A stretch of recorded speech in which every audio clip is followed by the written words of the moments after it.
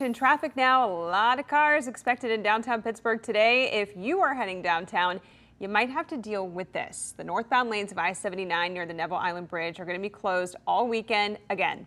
We do have team coverage on this project. We have our Elena LaQuatra, who will be here in just a bit with a look at how to get around the closure. But first, Caitlin Sykes has more on the project itself. This is the third time this stretch of I-79 northbound will close. You can see traffic moving across the Neville Island Bridge right now, but starting tonight, those vehicles will be detoured. We drove I-79 north across the Neville Island Bridge Friday morning, but come Friday evening, that won't be possible. PennDOT is closing the interstate at the Coraopolis McKees Rocks interchange for another weekend of bridge work. We're actually going to be disassembling some of the primary steel members that support the roadways. So to do that, we can't have traffic on it. And then some of the, the deck work that we're going to be doing up on top, it's just not safe to do it. There's no safe way with the ramps intersecting to do it with the with the lanes open. PennDOT crews have been working on a lengthy project, one that's already required two closures along the bridge. This weekend, more of that same repair work will take place. We're going to be sealing cracks on the deck with a with a it's called a methyl methacrylate uh, deck sealer. We're going to be doing some painting on the arch uh, and then some some joints. Uh, some of the expansion joints are going to get replaced. This project is topping $43 million to complete, but PennDOT officials say the 50-year-old bridge needs those improvements. They say police will help direct traffic during peak travel times, but delays should be expected. The detour route is taking about 20 minutes at the peak times.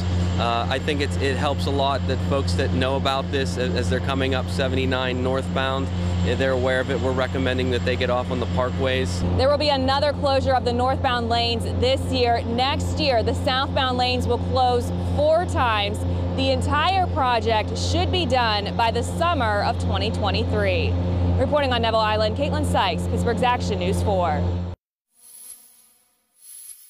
There's a lot happening this weekend. Pitt is at home, Pittsburgh Steelers are at home, and of course we're celebrating St. Patrick's Day in the city tomorrow. So if you use the Neville Island Bridge southbound, you'll be okay. Northbound is where you have a problem because of that full closure going into place tonight at 9 o'clock. You can go ahead and avoid the detour. If your route allows you, take the Parkway West onto 279. If not, here's the posted detour. You're going to go ahead and take the Coraopolis McKees Rocks exit, exit 74 before that final bend on the S curve leading up to the bridge. Once you're off the exit and you get to that T, you're going to go ahead and turn left uh, toward Coraopolis 51 northbound. Go through Coraopolis, through the town, stay in the left-hand lane and follow that 265 Sewickley. Once you're at that point, go ahead and make the right turn onto Sewickley Bridge, go right across. Once you're there, the car dealership's on the corner, make a right onto 65 southbound. Go ahead and follow 65 southbound all the way through Sewickley, basically back to the Neville Island Bridge. But you're going to pass underneath of it. This is where it gets a little bit tricky. You're going to have to take the left-hand ramp to 79 toward Erie, Washington. Then you're going to stay right toward 79.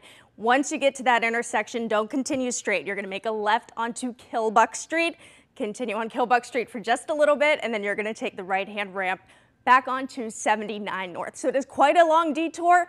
Give yourself some extra time, and those lanes will be open by 5 o'clock in the morning on Monday. I'm Elena LaQuatra for Pittsburgh's Action Traffic.